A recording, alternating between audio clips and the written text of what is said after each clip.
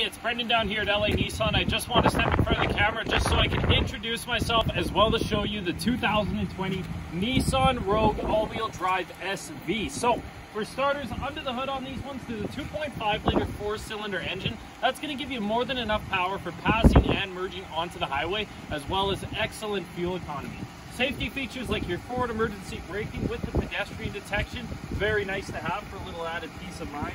17 inch aluminum alloy wheels already wrapped up in those premium all season rubber for you.